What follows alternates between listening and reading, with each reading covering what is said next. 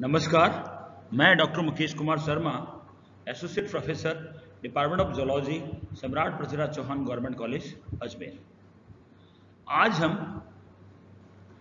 एक बड़ा important topic है आपके सिलेबस में regulation of gene expression in prokaryotes उसमें एक ऑपेरॉन मॉडल है, उसके बारे में हम डिस्कस करेंगे कि ऑपेरॉन मॉडल होता क्या है और बेसिकली किस प्रकार से ऑपेरॉन मॉडल के द्वारा प्रोकैरियोट्स में ट्रांसक्रिप्शन के को, के प्रोसेस को कंट्रोल किया जाता है।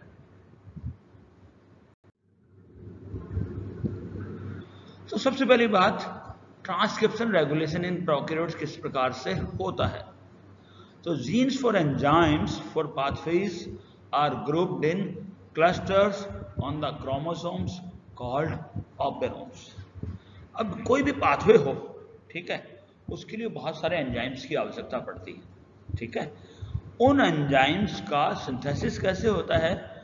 उन एंजाइम का सिंथेसिस जीन्स द्वारा होता है। और ये जो जीन्स होते हैं ना, ये एक क्रोमोजोम्स के ऊपर क्लस्टर के रूप में ग्रुप में पाए जाते हैं। आई बात समझ में? ये बेसिकली क्या होता है कि जो भी पाथवेज होते हैं, कोई भी बायोकेमिकल पाथवे हुआ, उसके लिए बहुत सारे एंजाइम्स रेस्पॉन्सिबल होते हैं और उन एंजाइम्स को जीन्स के द्वारा बनाया जाता है और ये जो जीन्स होते हैं, ये क्लस्टर के फॉर्म में एक क्रोमोजोम्स के ऊपर ग्रुप के रूप में पाए जाते हैं। उनको अपन क्या कहते हैं? ऑपेरॉन्स कहते हैं। दिस अलाउज कोऑर्डिनेटेड फंक्स एक्सप्रेशन और ये क्या करते हैं? एक कोऑर्डिनेटेड फॉर्म में एक्सप्रेस होते हैं। यानी एक पाथवे के मान लो चार जीन्स हैं, वो चारों जीन्स क्या होंगे एक के बाद, एक के बाद, एक के बाद सारे के सारे एक्सप्रेस हो जाएँगे A regulatory sequence adjacent to such a unit determines whether it is transcribed or not. This is the. अब ये जो जीन्स होते हैं, जिनका एक्सप्रेशन होना होता है, उसके एक्सप्रेशन को कंट्रोल करने के लिए क्या होता है एक रेगुलेटरी सीक्वेंस होती है ठीक है? और ये रेगुलेटरी सीक्वेंस है ना, जो पता करती है, क्या करती है कि इन जीन्स का ट्रांसक्रिप्शन होना है या नहीं होना, उसको हम क्या कहते हैं? ऑपरेटर कहते हैं। और regulatory proteins works with operator to control transcription of the genes और इस ऑपरेटर के कंट्रोल के लिए क्या होता है? एक रेगुलेटरी जीन्स भी होते हैं और वो रेगुलेटरी जीन्स क्या करते हैं? एक रेगुलेटरी प्रोटीन का निर्माण करते हैं और ये रेगुलेटरी प्रोटीन क्या करती है? ऑपरेटर के साथ में वर्क करके और जो जीन्स है, उनके ट्रांसक्रिप्शन को कंट्रोल करती है। तो हम ये देखें बेसिकली क्या हो रहा है इसमें कि एक पर्टिकुलर पाथवे के लिए जो भी जीन्स आवश्यक होते हैं, वो क्रोमोजोम्स के ऊपर क्लस्टर के रूप में पाए जाते हैं, जिनको हम ऑपेरॉन कहते हैं। और ये जो जीन्स होते हैं, इनका जो एक्सप्रेशन होता है, वो कैसे होता है? कोऑर्डिनेटेड होता है, यानी एक के बाद एक ही इनका एक्सप्रेशन होता है। और इन जीन्स के जो एक्सप्रेशन के लिए रेस्पॉन्सिबल एक रेगुलेटरी सिक्वेंस होती है, जो क्या करती है कि इनका एक्सप्रेशन होना है या नहीं होना या इनका ट्रांसक्रिप्शन होना ही नहीं होना, उसको हम क्या कहते हैं? ऑपरेटर यूनिट कहते हैं। और इसके लिए क्या होता है? एक रेगुलेटरी जीन्स भी होते हैं, जो क्या करते हैं? ऑपरेटर के साथ में कार्य करते हैं, जिससे कि ट्रांसक्रिप्शन के प्रोसेस को कंट्रोल किया जा सके। अब एक बैक्टीरिया के अंदर आना जो हम लोग क्या कर रहे हैं, एक ट्रांस, एक ऑपेरॉन के स्ट्रक्चर को हम इसमें स्टडी कर रहे हैं। In bacteria genes encoding the enzymes of a particular metabolic pathway are often grouped adjacent to one another in a cluster on the chromosomes वही बात है ये देखिए आप, ये है ना जो डिफरेंट डिफरेंट स्ट्रक्चरल जीन्स है, जो कि क्लस्टर के फॉर्म में एक ग्रुप के रूप में पाए जाते हैं। This pattern of organization allows all of the genes in the group to be express in a coordinated fashion through transcription into a single polycistronic mRNA encoding all the enzymes of the metabolic pathway ये बड़ा important है।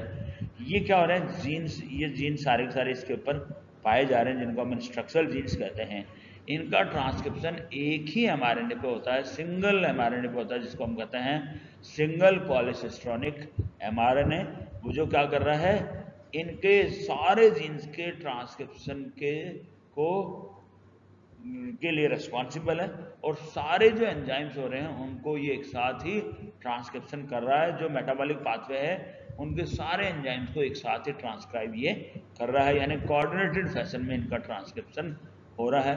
A regulatory sequence lying adjacent to the DNA being transcribed determines whether transcription takes place this sequence is termed the operator the operator is located next to a promoter interaction of a regulatory protein with the operator control transcription of the genes cluster by controlling access of RNA polymerase to the promoter. Such co-expressed gene cluster together with the operator and promoter sequence that control their transcription are called operons. अब आप ये देखिए ये तो आपके structural genes है जिनका की ट्रांसक्रिप्शन होना है यहाँ पे क्या है आपका प्रमोटर है और ये आपका ऑपरेटर रीजन है और यहाँ पे क्या है आपकी रेगुलेटरी जीन्स है ये जो ऑपरेटर और प्रमोटर क्या कर रहा है कंट्रोल रीजन बना रहा है।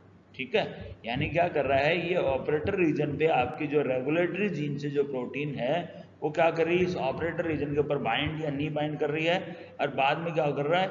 ये प्रमोटर रीजन है। प्रमोटर रीजन पे आपका क्या कर रहा है? पॉलिमरेज क्या कर रहा है? या प्रमोटर रीजन से ट्रांसक्रिप्शन के प्रोसेस को स्टार्ट कर रहा है।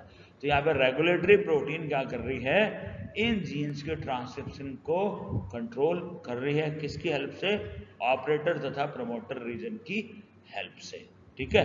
तो इस रीजन को अपन क्या कहते हैं? कंट्रोल रीजन कहते हैं। ट्रांसक्रिप्शनल कंट्रोल रीजन और ये जो सारा का सारा जो हिस्सा है, जिसमें कि रेगुलेटरी जीन भी है, आपका ऑपरेटर भी है प्रमोटर भी है, और साथ में स्ट्रक्चरल जीन्स है, उनको हम क्या कहते हैं? ऑपरॉन कहते हैं। जो क्या कर रहे हैं बेसिकली ये जो स्ट्रक्चरल जीन्स है, इनके ट्रांसक्रिप्शन को कंट्रोल कर रहे हैं, यानी इनका ट्रांसक्रिप्शन होना है या नहीं होना है, उनके कंट्रोल कर रहे हैं। इस पूरी सीक्वेंस को हम लोग क्या कर रहे हैं ऑपेरॉन कंसेप्ट कर रहे हैं या ऑपेरॉन मॉडल कह रहे हैं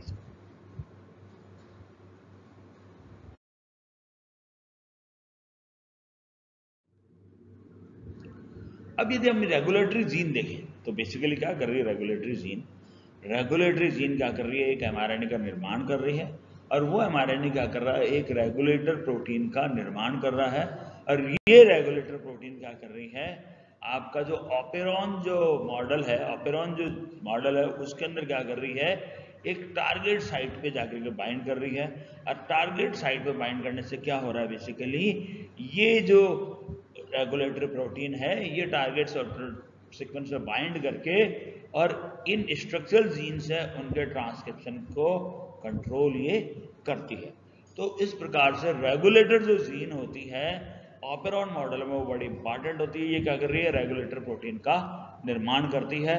और ये रेगुलेटर प्रोटीन इन जो स्ट्रक्चरल जीन्स है उनके ट्रांसक्रिप्शन को कंट्रोल करती है।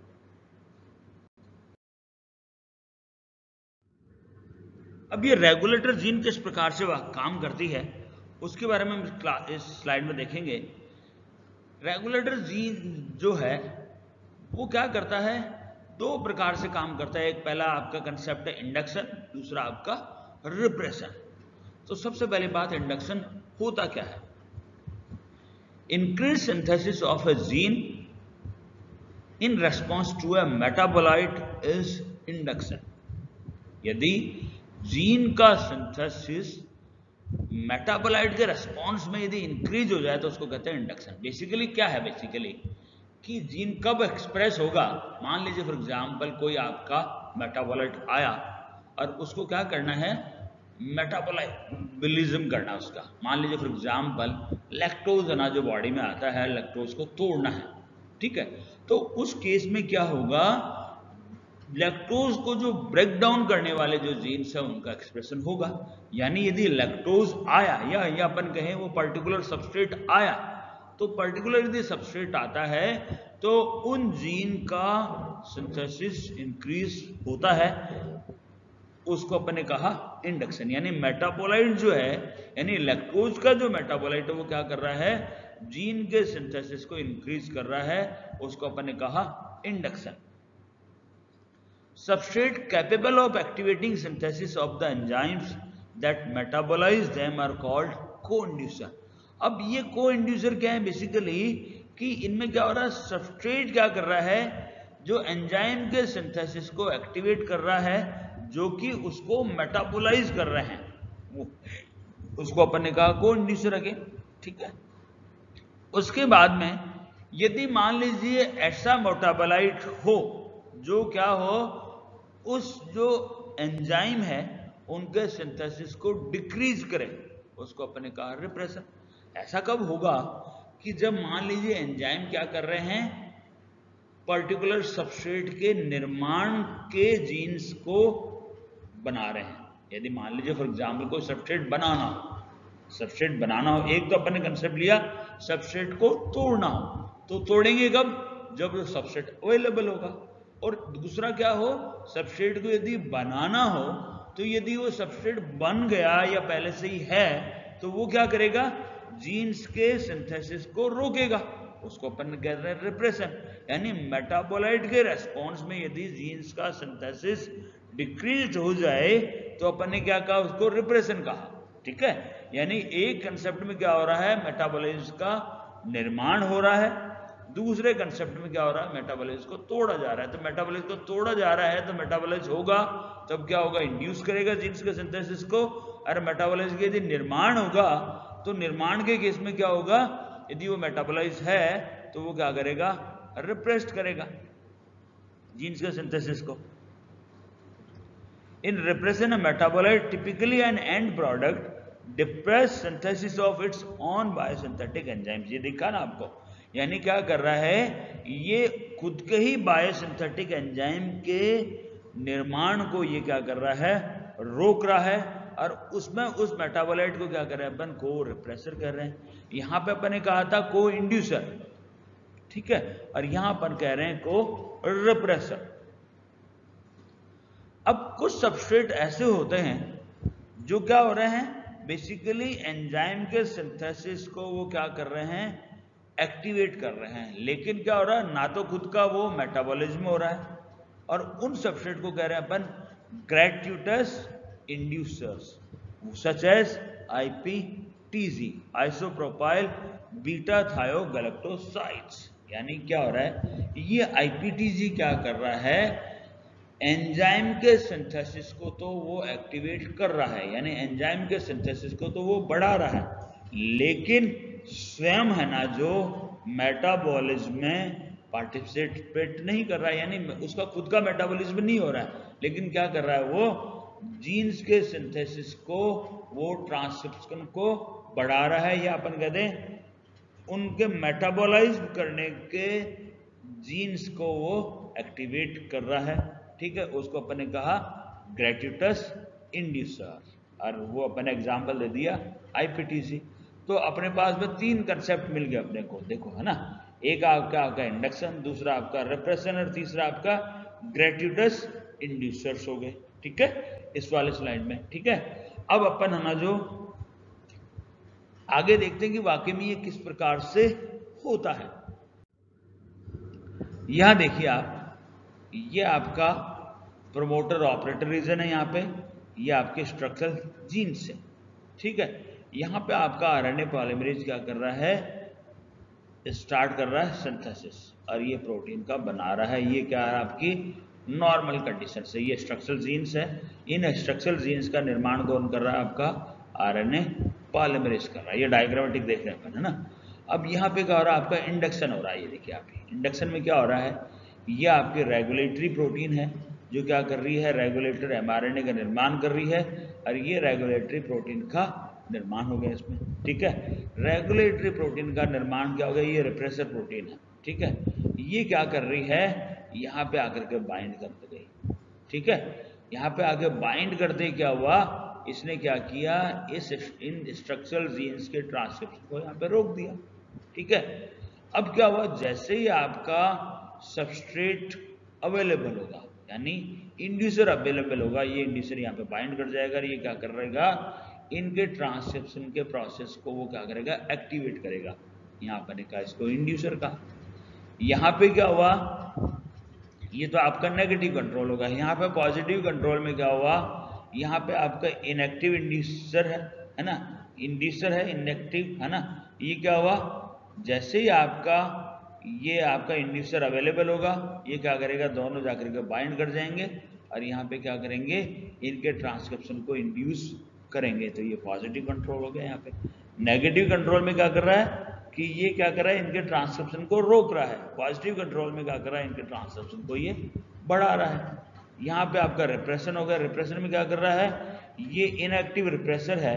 ये क्या कर रहा है, जैसे ये रिप्रेसर जैसे ही आपका मेटाबोलाइट अवेलेबल होगा, ये बाइंड कर जाएगा इनके ट्रांसक्रिप्शन को ये रोक देगा ये। ठीक है?